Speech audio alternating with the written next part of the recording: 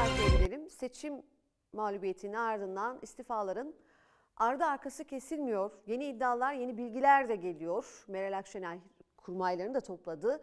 Peki İyi Parti'de neler oluyor? Bugüne kadar istifa edip gitmiş hiçbir arkadaşımızın hakkında konuşmadım ben. ittifakın içinde birinci sıralardan, ikinci sıralardan ben yazdım. Milletvekili seçilirken hiç HDP ile ilgili herhangi bir endişeniz olmadı mı? Seçilirken hiçbir şey olmadı. Sonra nedense birden HDP bu arkadaşların hayatına girdi. Çok üzüldüler. İyi Parti'de önce milletvekili borsası, ardından belediyelerle ticari ilişkileri ağ iddialarının ardından istifa haberleri peş peşe geldi. İyi. Bundan sonra size hayatta başarılar diliyorum. Seçim yenilgisinin ardından ilk istifa İyi Parti kurucu genel sekreteri ve 27. dönem İzmir milletvekili Aytun Çıray'dan gelmişti. Çıray, seçimde kaybedilmesinin sebebinin İyi Parti Genel Başkanı Meral Akşener olduğunu belirterek partiden ayrıldı. sürekli yenildik, yenildik, yenildik diye yeniden önümüzdeki seçimlere yenilgiyi hazırlamak farklı bir şeydir. Eski ANAP milletvekili Ahat Andican da İyi Parti kurucuları arasında yer almıştı. Milletvekili adayı gösterilmeyen Andican, parti istifa gerekçesine siyasal ve yapısal açıdan uyumsuz dedi. Seçimlerin ardından istifa eden bir diğer iki isimse İyi Parti'nin kurucularından Taylan Yıldız ve Aydın Adnan Sezgin oldu. Yıldız istifa açıklamasında sebebi kişisel değil, sistemsel dedi.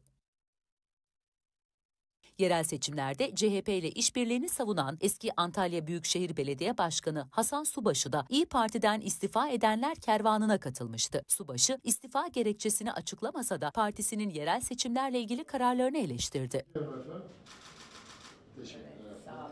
Buyurun lütfen. İyi Parti'de istifa furyasına eski Eskişehir Milletvekili Nebi Hatipoğlu da katıldı. 2 Kasım'da genel merkezle derin görüş ayrılıkları yaşadığını belirten Hatipoğlu istifasının ardından AK Parti'ye geçti. Eski Merkez Bankası Başkanı Durmuş Yılmaz'ın istifasının ardından İyi Parti'de yaprak dökümü başlıyor yorumları yapıldı. Yılmaz'ın istifasının hemen ardından istifası gelen diğer isimse Bahadır Erdem oldu. İyi Parti'nin yerel seçimlere kendi adaylarıyla girme kararına açıkça itiraz eden Erdem, partinin bu kararla İstanbul ve Ankara'nın muhalefette kalmasını riske atacağını öne sürdü.